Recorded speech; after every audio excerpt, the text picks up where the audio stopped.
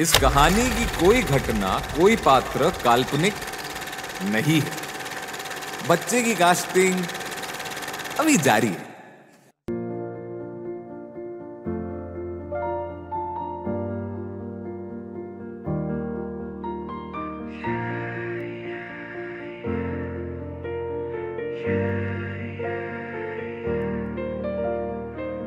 वो आने वाली है या आने वाला है?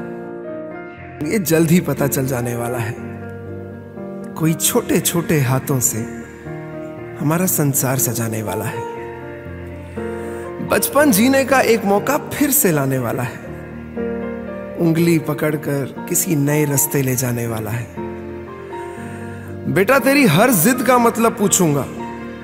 तू बाप बनेगा जिस दिन तुझसे तब पूछूँगा। दादाजी का ये कहना अब सच होने वाला है। कोई नटखट नानी का आराम चुराने वाला है। और वो जिसने अपना सब कुछ, बाटा आधा आधा है, प्यार जिसका बाकी सबसे नौ महीने ज़्यादा है। कभी हंसाने, कभी रुलाने, रात जगाने वाला है। अभी तो बस शुरुआत है, वो खूब नचाने वाला है।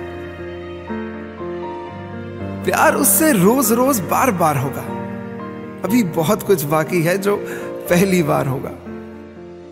उसे अपने पैरों पर चलते देखना, उसका माँ कहते खुद को पिघलते देखना।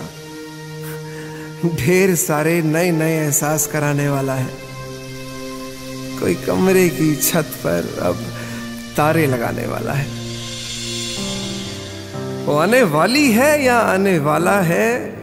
ये जल्द ही पता चल जाने वाला है।